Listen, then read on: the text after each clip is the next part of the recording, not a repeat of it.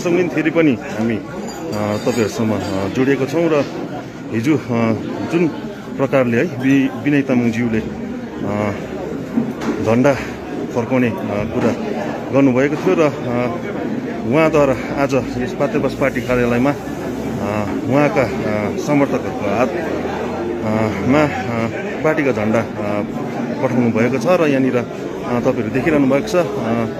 विनय तामाङज्यूका समर्थकहरू यहाँ झन्डा लिएर यहाँ आइ- आइपुग्नु सकेको छ। तपाईँहरू देखिराख्नुहुन्छ।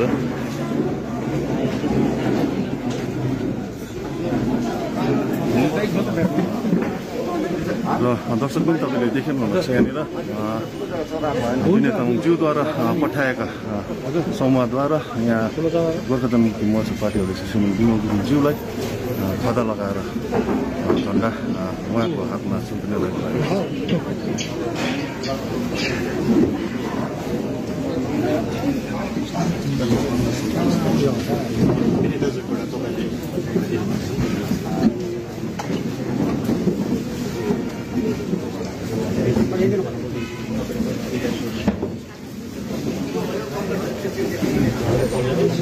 अहिले घरि जुन प्रकारले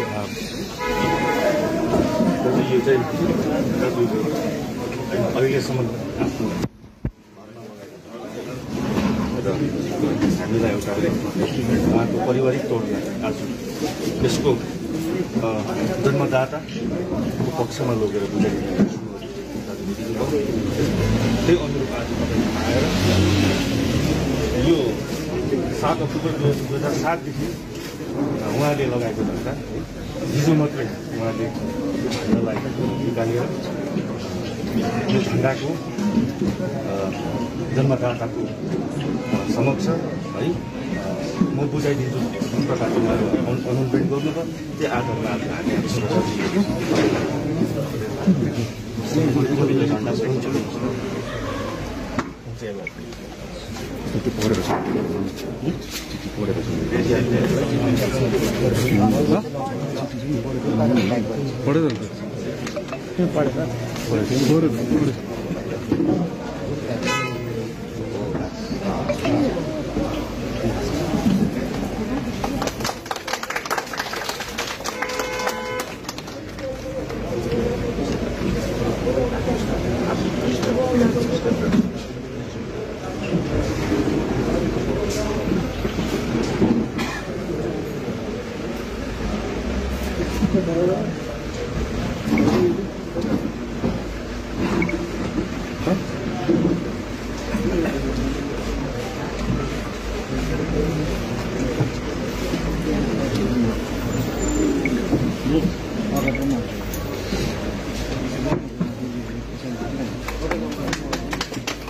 अ, यो विशेष त अब अघि मैले भनिहालेँ है अ,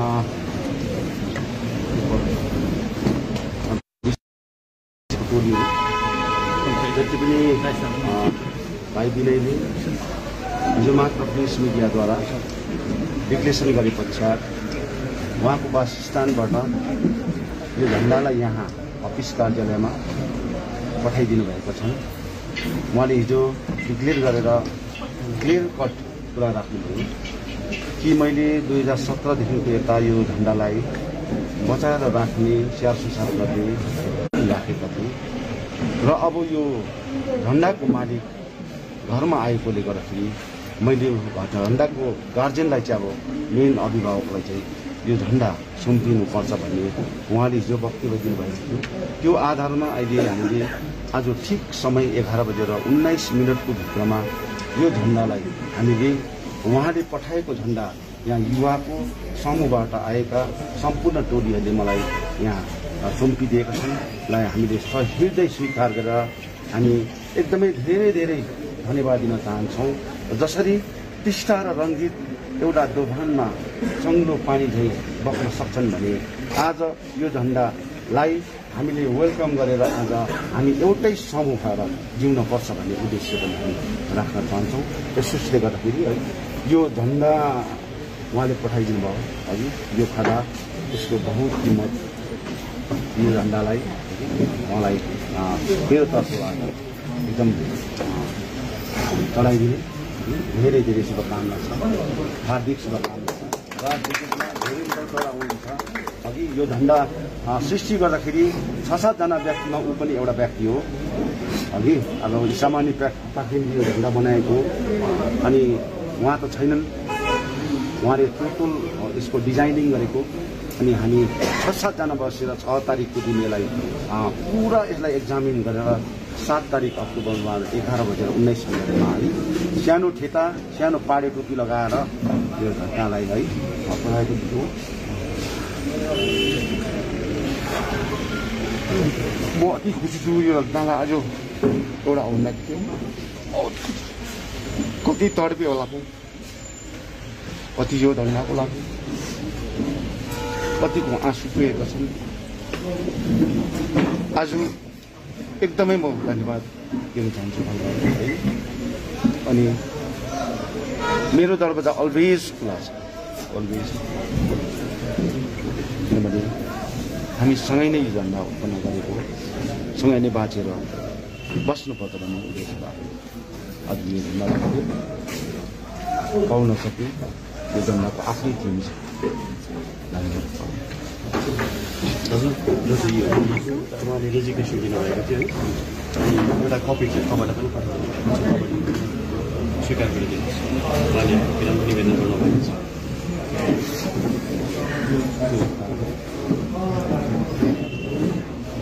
अनि दाजु हामीले गाडीमा फ्ल्याग पनि लिएर आएको छौँ हजुर त्यो सबै हामी यहाँनिर तपाईँलाई नै सुम्पिदिनेछौँ उहाँले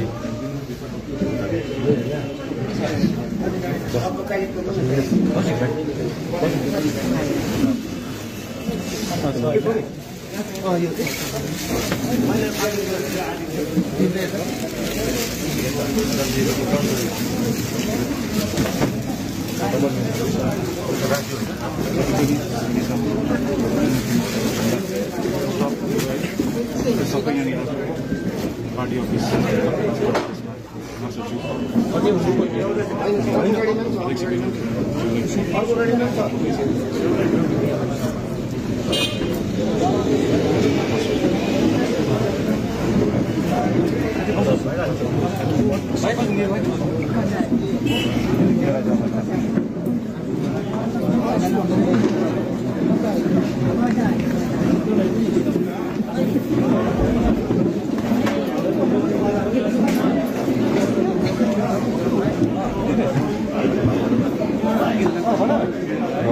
दर्शक बिन हिजो जुन प्रकारले विनय तामाङ ज्यूले झन्डा फर्काउने उहाँले बयान दिनुभएको थियो र त्यही उहाँको बयानलाई आज पुरा गर्दै उहाँको बाचालाई पुरा गर्दै आज गोर्खा जनमुक्ति मोर्चा पार्टी अध्यक्ष श्रीमान विमल ज्यूलाई पातेबास स्थित पार्टी कार्यालयमा उहाँका अ, समर्थकहरू समर्थकहरूद्वारा झन्डा यहाँनिर बुझाउने कार्य भइरहेको छ। यहाँ तपाईँ देखिरहनु भएको छ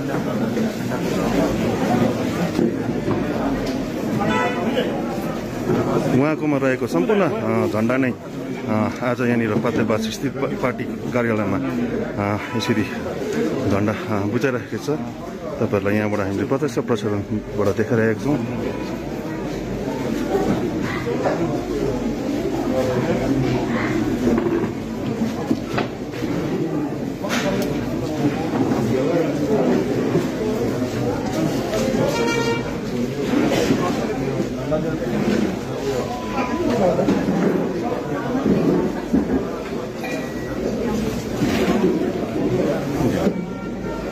अलिकति अगाडिबाट छोडिदिनु होइन अगाडिबाट सुरज अलिक गर्नु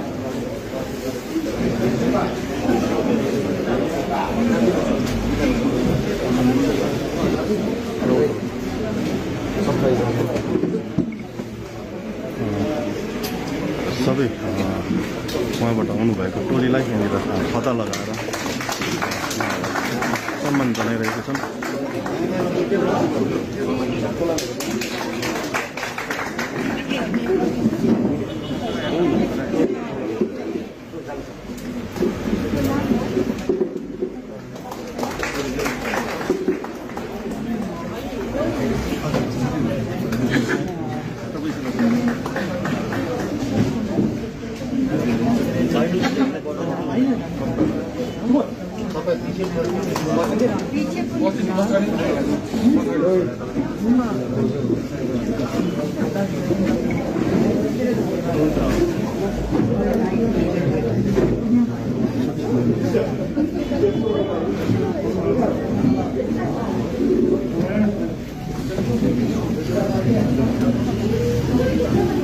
तपाईँले देख्नु सक्नुहुनेछ यहाँनिर उहाँले झन्डा प्याकेटमा यसरी उहाँले एउटा चिठी पनि लेखेर हाम्रो अध्यक्षज्यूलाई दर्शक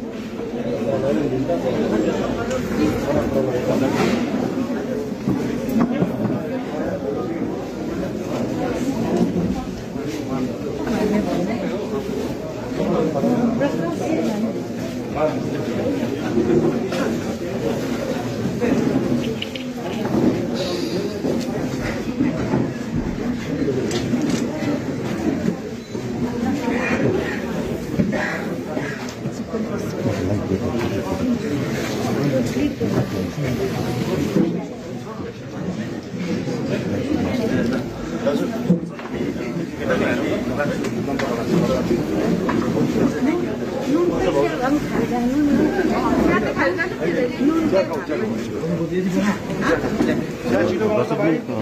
फेरि पनि हामी तपाईँहरू समक्ष जोडिने नै छौँ र तबसम्मको लागि हामीलाई बिदा दिनुहोस् जय गोर्खा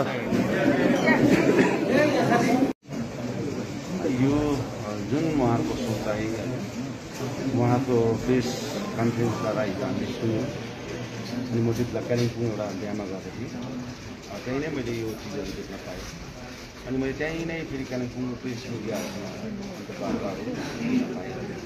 र मैले हिजो क्लियरली कुरा गरेँ कि जुन प्रकारले आज यो झन्डा दुई हजार सातमा जन्माउँदाखेरि है सातजना व्यक्ति थिए त्यसमा एउटा विनय तामाङ। अनि जतिको यो झन्डा जन्माउँदाखेरि मेरो एउटा दायित्व थियो भने त्यस्तै प्रकारले रोशन गिरी विनय तामाङ बाबा लामा अनि यी समय बाख्री व्यक्तिहरू यस्ता व्यक्तिहरू एउटा बसेर हामी छ तारिकको दिनै बसेर कतिवटा हाम्रो निर्णायक कतिवटा डिसिसनहरू लिएर यो सात तारिक एघार बजेर उन्नाइस र उहाँले जुन प्रकारले एउटा जो प्रेस मिडियाद्वारा यो झन्डाको अरिजिनल मालिक आयो। र मैले यतिका दिनसम्म यो झन्डालाई सुरक्षित गरेर राख्न पाएँ। र अब यो झन्डाको मालिक आएपछि मैले यो झन्डा उहाँलाई सुम्पिनुपर्छ भन्ने चाहिँ एउटा वक्तव्य उहाँबाट सुने। त्यसको लागि एकदमै स्वागत गर्न चाहन्छु। र उहाँ स्वागत सँगसँगै मैले भनिहालेँ नि यसमा यो झन्डा जन्माउँदाखेरि छ सातजना व्यक्तिमा पनि हुनुहुन्थ्यो र एकदमै म आजको दिनमा उहाँले अ, म त उताबाट मान्छेहरू हिँडाइसकेँ अलिकति बाटोमा ट्राफिक जामले गर्दाखेरि ठिक टाइममा आउन पाएको छैन तर बाटोमा चाहिँ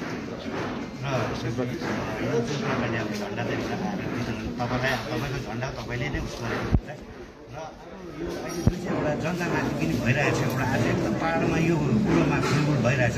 कि भोलि विनय तामाङ आएर तपाईँसित समर्थन साथमा साथ मिलेर काम गर्छु भने तपाईँको त्यति बेला डिसिसन के हुन्छ? मेरो मैले भने मेरो घरको दरवाजा जसको लागि पनि ओपन छ। मैले कसैलाई नाइजा भन्दिनँ कसैलाई रोक्ने काम हुँदैन मेरो पार्टीमा। मैले समाजको निम्ति यो पार्टी खोलेको। यो जग्गाको निम्ति यो पहाडको निम्ति यसको उद्देश्य विचार यही विषयहरूमा आज लिएर खोलेपछि यसले कसैलाई रोक्ने र थुम्ने एउटा एउटा उहाँलाई बाधा विघ्न गर्ने चाहिँ यो चिज हाम्रो पार्टीमा त्यस्तो हुँदैन। र म त चाहन्छु आउँछ भने वेलकम एकदम अघि वेलकम छ। एकदमै काम गर्नु यो पहाडलाई अहिलेको स्थितिमा कोभिड नाइन्टिनको जुन वातावरण छ कोभिड नाइन्टिनको जुन वातावरणमा आज फर्स्ट फेजमा सेकेन्ड फेजमा जुन प्रकारको हाम्रो पहाडको मानिसहरू धेरैभन्दा धेरै ज्यान मालको नोक्सान भएको छन्। अहिले पनि लकडाउन बढेर तिस तारिक जुलाईसम्म अघि गो भएको छ भनेपछि आज हामीले के को लागि चाहिँ काम गर्नुपर्छ के विषयमा काम गर्नुपर्छ? अहिलेघरि पोलिटिक्सलाई पर सारेर पनि हामीले सामाजिक दृष्टिकोणमा मानिसको ज्यान जोगाउनुपर्छ यसको लागि सबै हामी लागु परौँ र हामीले प्रेस मिडियामा धेरै मानिसहरू पनि देख्छौँ। धेरै मानिसहरूले पनि आज उतो चढाउको कुराहरू गर्छन्। सानो सानो कुरोहरूलाई पनि हाइलाइट गरेर ठुलो गर्छन् तर प्र्याक्टिकल कुरो चाहिँ के भने अहिले चाहिँ सबैभन्दा आज संस्था लागिरहेका छन् कतिवटा एनजिओहरू लागिरहेका छन् कतिवटा आइसोलेसन सेन्टरहरू खोलेर मान्छेको ज्यान जोगाउने काम गरिरहेका छन् डक्टर नर्सहरूदेखि लिएर भोलिन्टियर्सहरू सबै लागि परिरहेका छन्। यो विषयमा आज सबैले काम गरेर अगाडि बढ्दैछन् भने हामी त्यो विषयमा नै अहिले ध्यान दिनुपर्छ। दाजु जुन प्रकारले तपाईँले विमल ए विनय तामाङलाई है स्वागत छ भन्ने एउटा सङ्केत दिनुभयो है पार्टीमा लगाउने। विगत केही वर्ष अघि जब तपाईँ विस्थापित हुनुभएको थियो है तपाईँले उहाँलाई नै उहाँहरूकै कारण भन्ने औँलाइरहनु भएको थियो है र आएपछि पनि तपाईँहरूले उहाँहरूसँग नमिल्ने प्रकारको तपाईँले वक्तव्य राख्नु भएको थियो। तर आज आएर फेरि अचानकै फेरि उहाँहरूलाई वेलकम गर्छु भन् भन्नु यो उचित हो जस्तो लाग्छ र मेन कुरो मेन कुरो के हो भने हिजोसम्म यो पार्टीमा विमल खेमा र विनय खेमा भन्ने थियो होइन? अनि विनय खेमा र विमल खेमा भन्ने कुरो चाहिँ कोर्टले पनि आज त्यही आधारमा चाहिँ सङ्केत दिएर त्यो आधारमा काम हुँदै थियो। तर हिजोदेखिको चाहिँ यो के अरे विमल खेमा र विनय खेमा भन्ने सकेर चाहिँ अब गोर्खा जनमुक्ति मोर्चा मात्रै रह्यो। बुझ्यो नि गोर्खा जनमुक्ति मोर्चा मात्रै। अब चाहिँ विनय खेमा विमल खेमा होइन गोर्खा जनमुक्ति मोर्चा एउटा पार्टी जसले आफ्नो सिद्धान्त बोकेको छ। अघि हामी त्यसलाई एक्सेप्ट गर्छौँ नि त। त्यसलाई एक्सेप्ट गरेको छौँ हामी आज हामी एक भएका छौँ। हाम्रो झन्डा हाम्रोमा आएको छ आफ्नो मूल घरमा आएको छ। बुझ्यो नि? त्यो नै सबैभन्दा ठुलो कुरो तपाईँको निर्णयले तपाईँको समर्थकहरू अथवा तपाईँको पार्टीलाई केही असर पर्दैन जस्तो लाग्दैन तपाईँलाई? आजसम्म मेरो निर्णय र आजसम्म मेरो विश्वास र आस्थामा जनताले बसेरै काम गरिरहेछ। हो एक दुईजना यस्तो मान्छे हुन्छन् जसले नमिल्ने कुराहरू पनि हुन्छन्। तर हामी घरको मान्छे हौ एउटा घरमा बसेर हामी यसलाई सट आउट गरिहाल्छौँ नि। यस्तो यस्तो कुरा छैन कि ठुलो क्राइम गरेको कुरा होइन। ठुलो हामीले क्राइम गरेको छैनौँ। तर आज मेरो आफ्नो झन्डा मैले दुई हजार सातमा एघार बजेर उन्नाइस मिनटमा यति डरलाग्दो सिचुएसनमा मैले मेरो ज्यान मालको नोक्सान हुने समय थियो।